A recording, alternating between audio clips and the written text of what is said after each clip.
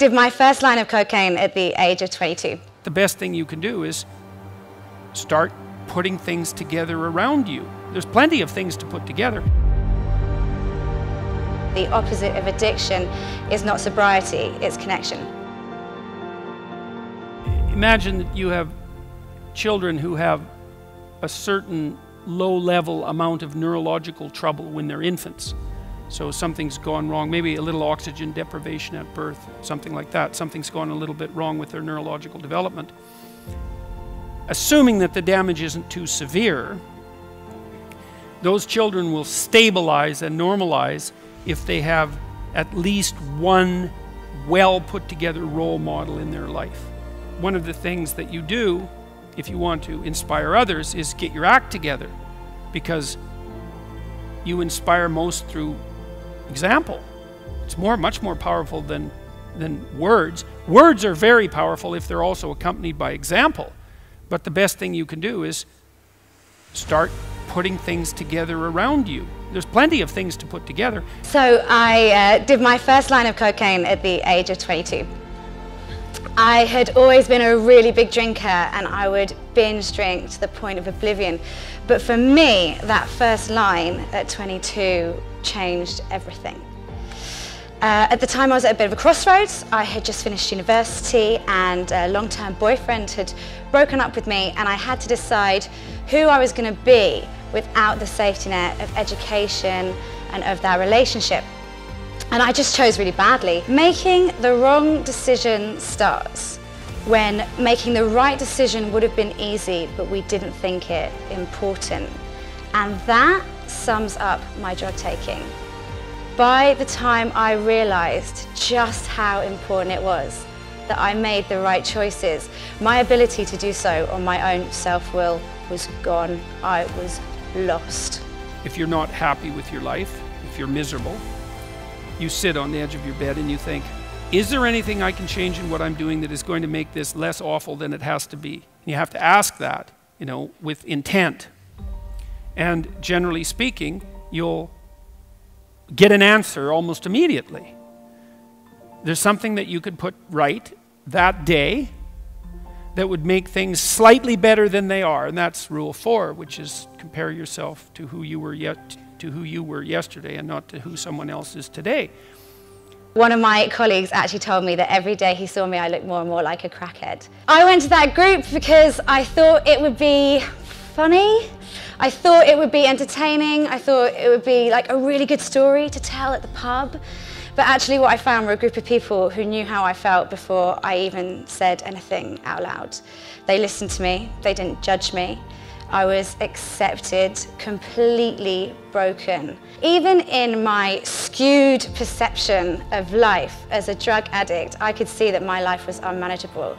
At the height of my drinking and drug taking, I got floaters in front of my eyes and numbness in my fingers and toes, nosebleeds. I was a 23 year old with extreme memory loss. I didn't wash properly, I didn't open my mail. I also developed a really unattractive facial twitch that would go off at the most inconvenient moments. All in all, I was a complete mess. On the occasional day when I managed to do something for myself, I would maybe have a shower and I'd like moisturize my skin and for that moment I would feel like I had everything together. Just, just something as simple as that made me feel like everything was going to be okay. There, I don't believe that there's a person who exists who wouldn't receive an answer to that question if they genuinely asked it. And it's no different really than thinking. Like if you think you have a problem, you think, you get an answer. Might not be the right answer, but obviously you get an answer. And you might think, well, I thought up that answer. It's like, well, that's really not much of an explanation because you don't know how you think. It's like I'm sitting there and thoughts appear in my head and that's how I think. It's like, that's a pretty shallow explanation. It's not much different than revelation. It's like you ask yourself the proper questions, you'll get the proper answers. If you ask the right question and you want the answers. Right, and those are not easy preconditions to set up because who knows, you know, if, if you're sitting on the edge of your bed thinking, okay, what am I doing wrong?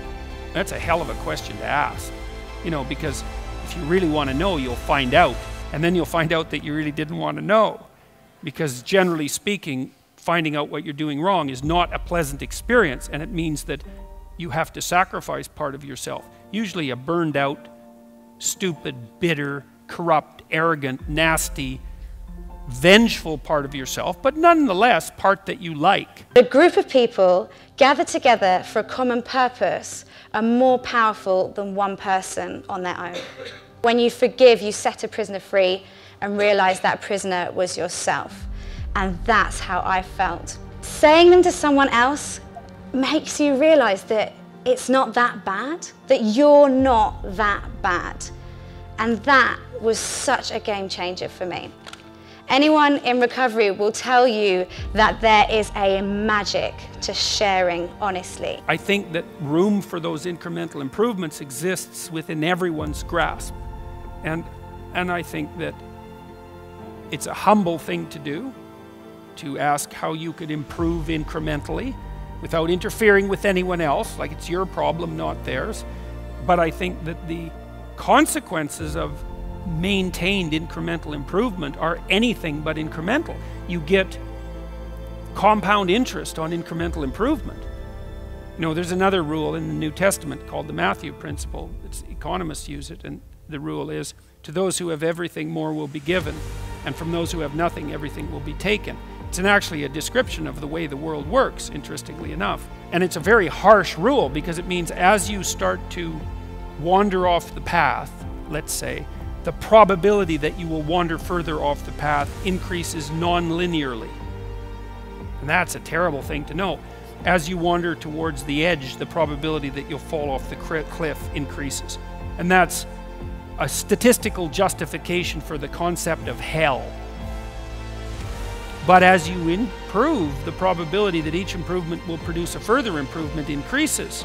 The downside is the cataclysmic catastrophe that you can engage upon if you reproduce your moral failings. But the upside is that each improvement produces an increment in the probability of the next improvement.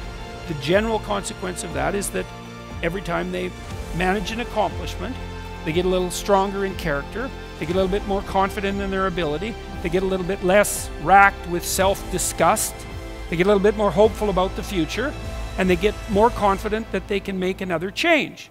And if you're patient, and you have to be patient with yourself that way, it's like you reward those incremental improvements and you don't get all cynical about them. And you think, okay, just imagine what would happen if you kept doing that every week for 10 years. And the answer to that is things would be so much better for you that you can't even imagine it with that much improvement, or maybe even with half that much improvement. I was selfish. I had put drinking and drugs and numbing out life above all my friends and family. I missed my best friend's dad's funeral because I was too busy getting drunk and high. When I dug even deeper, it became apparent that there was a common denominator underneath all of these character defects, and that was fear. I was making all my decisions based on a fear of being unpopular, of being unliked, of being rejected, of fear of everything. Some people accepted my apologies and were so overwhelmingly gracious, and I just was blown away by their responses. It was spectacular. Other people didn't reply at all, and um, some people just weren't ready to hear from me, and that's fine.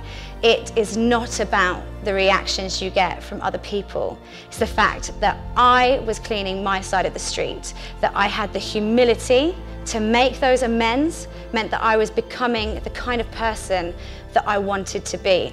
It's okay if you haven't been able to sort this out on your own. I couldn't either. You know, and no one actually that I know in recovery was able to. We're not built that way. We can't deal with this stuff. It's too big to do it on our own. But there are people up and down the country. There are charities, there are anonymous groups, there are support groups, there are church groups who want to help you. And all you have to do is help yourself. Google them, reach out to them, and connect with them, and they will support you in that journey. These things may or may not kill you, but they will stop you living. And your life is too important. You are too precious to accept anything other than complete freedom. Xanax is a motherfucker. It, and I didn't know what a motherfucker it was until I talked to a friend who is a counselor at a drug rehab center. Where he was saying that that is